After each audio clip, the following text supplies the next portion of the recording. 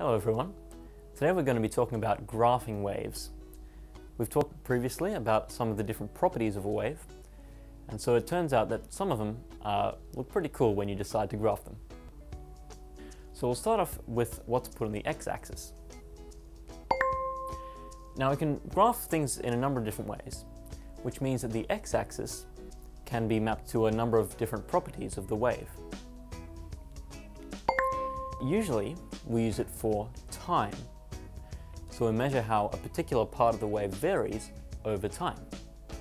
Makes sense, right? So sometimes it's used as a spatial dimension. That is, to show sort of what the wave looks like at a fixed point in time, rather than showing how the wave varies at a fixed point in space, right?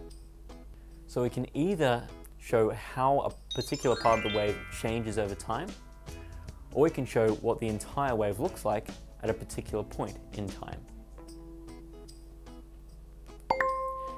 Now the y-axis of the graph is usually used for the displacement of the particles. We know that in a wave, the particles get displaced, they vibrate back and forth, and so on the y-axis we show how far it's vibrated. So this will be displaced in the positive direction and this will be displaced in the negative direction.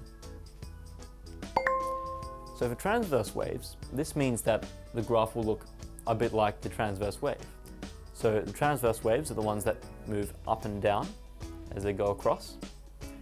And we can see that if we graph their displacement, it will also go up and down as the graph moves across.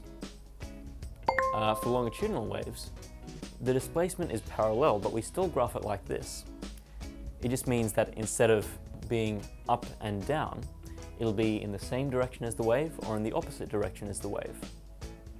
So essentially we can use a graph to transform a longitudinal wave into a transverse wave.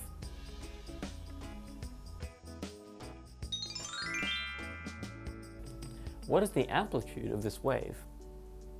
I've drawn a bit of a hint on the diagram here, showing you the maximum and minimum displacement of the wave. So the question uh, really is, is the amplitude the distance between the maximum and the minimum displacement?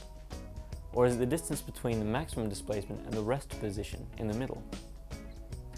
Well, the answer is that it's the displacement from the rest position.